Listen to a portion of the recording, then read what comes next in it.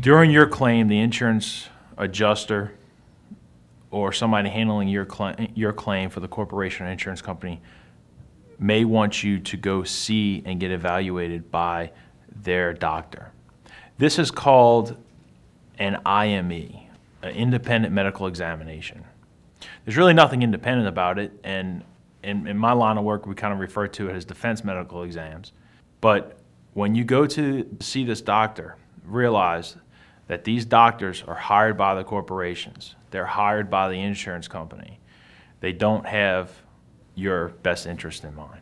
That's why you need a lawyer to help you navigate through the claims process and make sure that you're doing what's best for you and not what's best for the insurance company.